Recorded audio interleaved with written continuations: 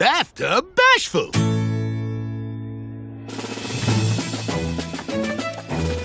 Shall we pick up the pace, Sir Yipsalot? Your Majesty! Oh, Your Majesty!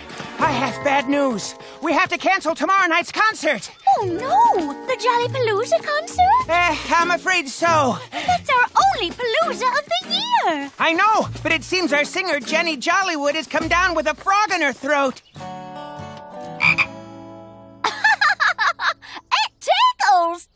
Well, we'll just have to find someone new to sing at the concert. Bye. Bye. I dig working in the mine. I dig all those gems and jewels.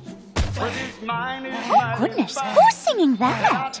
I don't know, but it's someone right over there. Let's go find out who it is. Oh, baby, I dig you. It's coming from inside the 7Ds cottage. Okay, you go ahead. I'll be there in a couple hours.